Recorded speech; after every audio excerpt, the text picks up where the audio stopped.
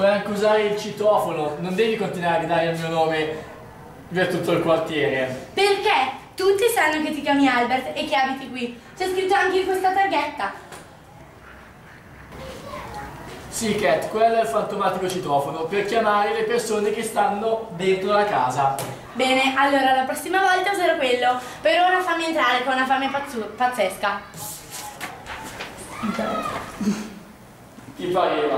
Stai facendo i compiti, ma dai, mangia quel piatto di biscotti che c'è sul tavolo. Stai sempre a pensare a scienza, natura, eccetera, eccetera. Dovresti gustarti un po' questi biscotti. Hanno... Mmm, sembrano buonissimi. Mm. Ma perché hai la cucina piena di burro e biscotti? Li ha fatti un ragazzo, un, un compagno di mia sorella, credo.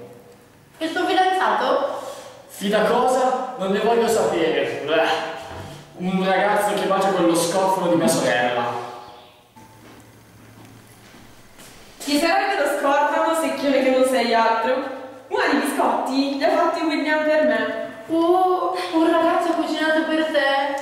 Sì, e si è anche dichiarato davanti a tutti.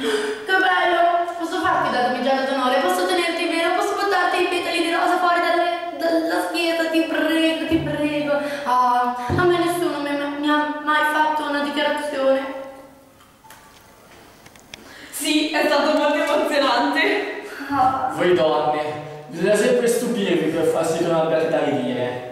Alberto, guarda che basta poco per impressionare una ragazza. Guarda questi biscotti, li ha fatti il mio William questa notte, così che la mattina fossero caldi per me. Oh Mirna, che gesto nobile, ragazzo d'altri tempi.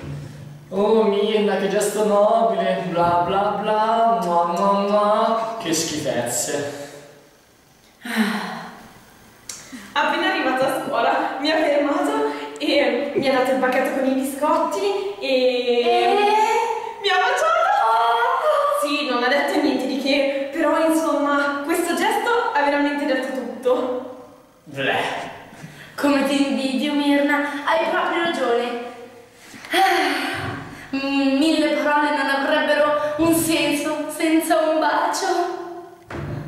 Ah.